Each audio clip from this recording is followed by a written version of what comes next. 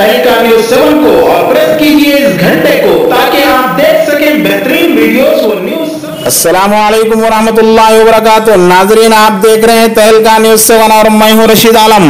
आज संगारेड्डी ज़िले के जहीराबाद डिवीज़न में डीएसपी एन एम रवि की जेर सदारत योम शहीदान तकारीब का इनका अमल में लाया गया। इस मौके पर जहीराबाद डिवीज़न के तमाम मंडलों के पुलिस एहलकार व सब इंस्पेक्टरान